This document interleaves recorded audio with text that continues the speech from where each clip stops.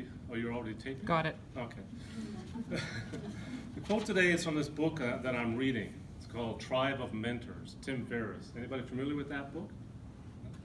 You know Tim Ferriss, the author? Tools of Titans or The Four Hour Work Week? No? Okay. Yeah. That's okay. I like his writing.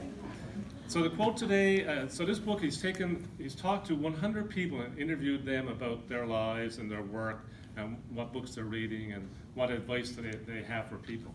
So this one is from a gentleman by the name of Muneeb Ali, who's the co-founder of Blockstack, an internet company. And he's, his quote is, when I'm old, how much would I be willing to pay to travel back in time and relive the moment that I'm experiencing right now? So just think about that. And he gives an example.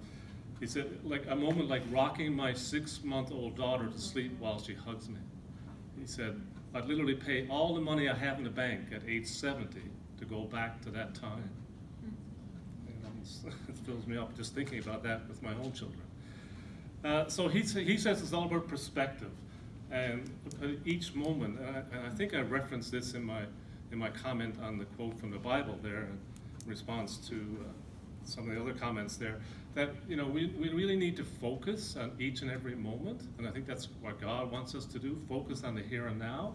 And I know people, there are people in this room, people that are watching this video that maybe are going through a struggle right now.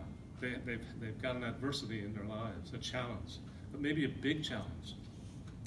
And you know, it was a famous author, another famous author, Napoleon Hill, who once said, every adversity has within it the seed of an equivalent or greater benefit. But we really have to be looking for that. It's really tough when we're going through that struggle to find something positive in that. But if we really look inside of ourselves and focus on what's happening to us, we can come up with that seed of a greater benefit.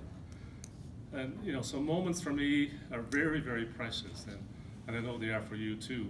Uh, the famous poet Emily Dickinson once said that it will never come again is what makes this life so sweet.